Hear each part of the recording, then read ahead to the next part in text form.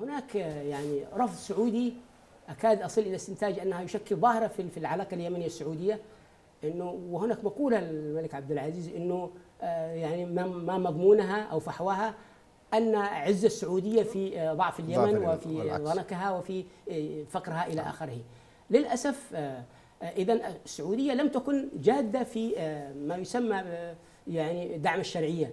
هي هي لا ترغب في وجود وطن يمني قوي. كما قلت يدافع عن حياضه في إطار اليمن المجتمع والدولة. السعودية ما يزال هاجسها أنها تضعف يعني اليمن واليمنيين. وهنا استحضر مقولة ذات دلالة وهي عندما اعلنت دولة الوحدة في 90 أذكر أن أعتقد الأمير يعني كان وزير الخارجية آنذاك يعني يقال أنه مطرح شيك مفتوح للأخوة الجنوبيين إبان التشطيب ألا يعني ألا يكونوا ضمن إيجاد دولة يمنية واحدة. وبالتالي رغم أنني ما زلت مصرا على أنني أرفض نظرية المؤامرة لأنها بديهية لا تحتاج إلى الإثبات إلا أن السعوديه ليس من مصلحتها أن توجد أن تعاد ما يسمى بالشرعية. تخيل كيف يمكن أن كثير من ال يعني على سبيل المثال ما يحصل الآن في نهم نعم.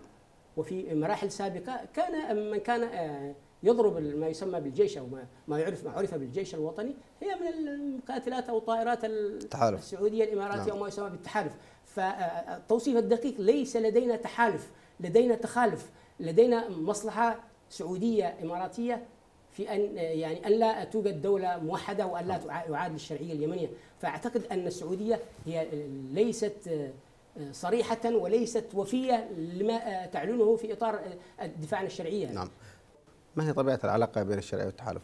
آه إلى الآن هذه العلاقة غير مفهومة خمس سنوات وانت تتحدث عن دعم الشرعيه في استعادة السيطره على البلاد لكنك قوضتها وبدل وخلقت لها أعداء جدد بدل من عدو واحد آه، أصبح للشرعية ربما أربعة أو خمسة أعداء آه، كيف يمكن أن نفهم هذه المعادلة؟ هناك مقولة أثيرة آه، في أنه إذا أردت أن تتحدث معي فحدد مصطلحاتك أو مفاهيمك. لدينا للأسف أنا أتحفظ على مفهوم الشرعية. الشرعية بمعنى الرضا الطوعي أو الاختياري من قبل آه، يعني المحكومين جميعهم أو جلهم أو غالبيتهم.